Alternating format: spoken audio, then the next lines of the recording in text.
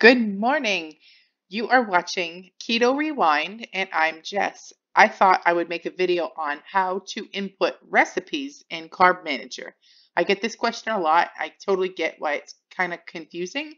So I thought this little screenshot video would be a great way to help make it a little easier to understand. So first off, you're at carbmanager.com. I'm using my computer to make it, you know, show up nice. but you can do this exact same thing on your phone. So log into your account and that brings you to your main homepage. Okay, so right to the top left up here, you'll see foods. Click foods and then up here there's a little plus mark. Hit that button and you're going to create recipe. So this is a recipe that I've had in like my binder for years. I have no idea who it's by, but I want to know the macros that's in it. So basically, you could do keto Swedish cheesecake. And it makes eight servings. Um, and then down here for prep time, huh, I've made it so many times I can make it in like 10 minutes.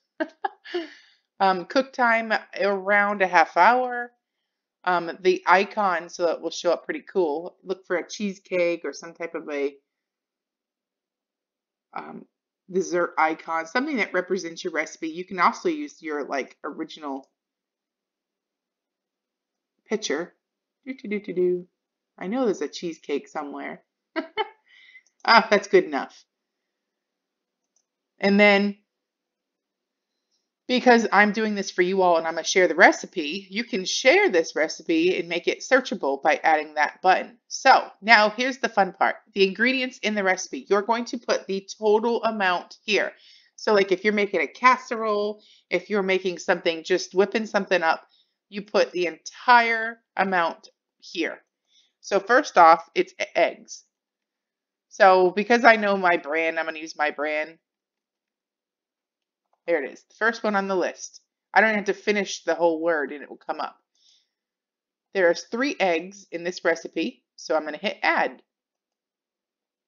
Next, I will add Lakanto Classic Sweetener. You can use any keto approved sweetener, but my favorite is Lakanto, and obviously coupon code is down below, but it's a blend of monk fruit and erythritol, and it's my favorite. So in total, I put 75 grams of that. So see, it's under, right now, it's under teaspoon. So change it to grams. I like to bake and I like to use grams because it's just so much more accurate. And it will calculate it. And there you go, done. Next one is cottage cheese. I can't remember the brand I have downstairs. I think it's Mm, Daisy. And it's the full fat. Um, I think it's this one. and then I put in 400 grams. Oop, that's 4,000. See, we're going to change this to grams. Add. the next one is heavy whipping cream. And I have the Organic Valley one today. and that would be 100 milliliters.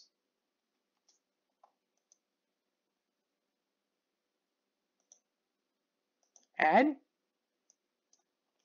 And almond flour.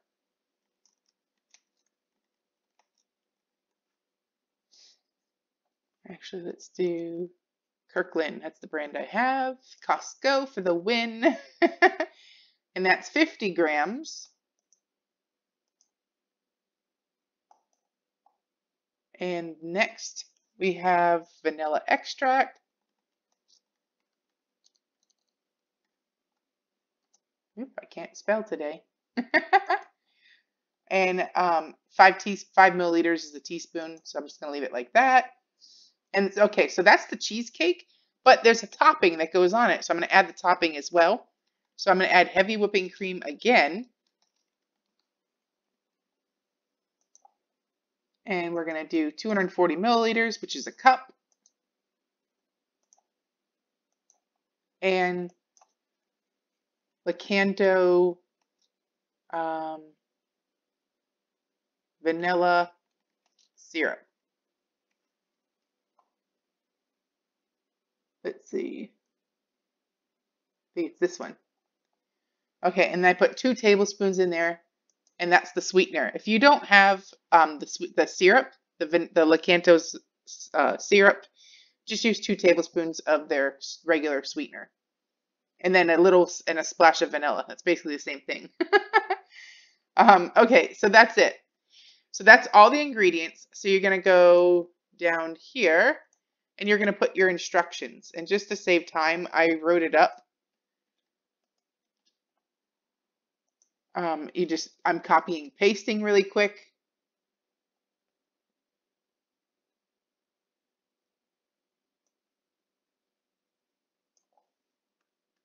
I don't know what I was doing there. and just so that if someone's reading my recipe and wants to make it, this um, just if they're searching on Carb Manager, you can print out this recipe and learn how to make it. So then you hit save when you're all done. Now we go look and see what it is. So I named that keto cheesecake. So right here, here it is in my list. And it will always be in my list. So you only have to input the recipe once. So now say it's time to have it. You can just click it up, hit one serving, and this will include everything, and you just hit add to today. Or I mean, you could put what you had total, but I have mine set to diabetes carbs, which because it's made with sugar alcohols, the net carbs version does not compute the net the sugar alcohols. It leaves it in your carbs the diabetes version does half them. So you get a little bit off. So this way, I like that margin of error. I know the um, the sugar alcohols have zero impact on your glycemic index, but for whatever reason, Carb Manager still calculates them into your macros. So the diabetes one, um, and that is is a setting that you can hit over here in settings, and you can change it to diabetes carbs total carbs or net carbs. But for me, the diabetes carbs takes half the sugar alcohols and, and puts them in for you versus the net carbs will give you all of them. Which if you're like, you know, it's kind of hard to tell. um, you know, when you have the sugar alcohols computed into your macros, it's hard to tell what is actually um, like a legitimate carb and one that should not really have too much impact. So this one at least is accounted half for. So there you have it. That's how you, uh, and then here's the macros for that one slice of cheesecake. Um, and you can also set it up so that, you know, if you only had a half a serving or something, maybe you get 16 servings out of your cheesecake, whatever it, that would automatically compute this and just go in there and edit it. So that's one easy way to input a recipe that you have that you have that's like not online anywhere I honestly have no idea where this recipe came from. It's in my stash. So, um, um, but anyways, this way you still want to log it in and you still want to track it. And that's basically how you do it. Um, so that would be how to do it that way. And the next way would be say that you went over here. I believe this feature is only for premium version or premium upgraded users, whatever they call it. I will say it's out of, I feel like that feature alone is worth the $1.99 a month or whatever it is. I don't even know what I pay. I got it when it was on sale. But I feel like that feature alone to get all these recipes and all that stuff is worth it so much because I, I stress macros, macros, macros, macros. So, but what I'm trying to say is say that you had a, let's see, say let's log some things that you eat all the time and you want to create a shortcut to make it a meal. So for instance, I've been doing chaffles lately. So to make this easy, I'm just going to create this meal. So I'm going to go ahead and log in what I already have. I had one serving. And then I made a cream cheese icing with it. And that's what I had. And then I had um, see, now I have to search for my other one. So let me go to my log and you can see, oh, they, they put, I put them in the wrong spot. So you can move those things. Um, you just hit the reorder button and then I'm just going to stick them in lunch.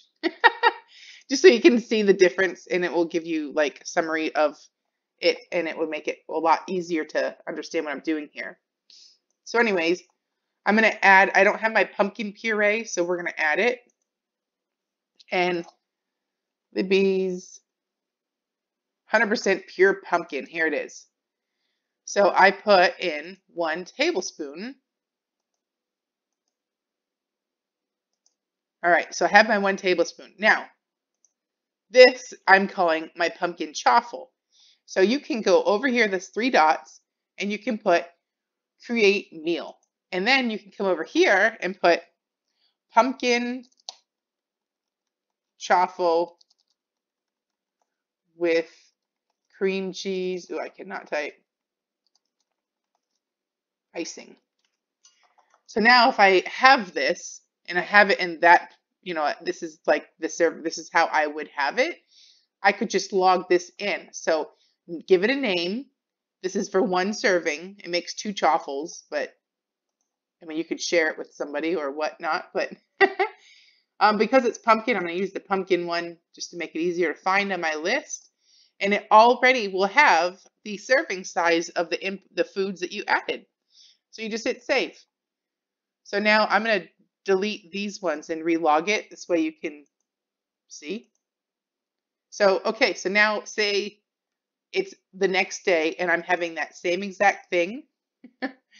um, you hit add foods and then you go to my foods because we just added it to my thing, my food list.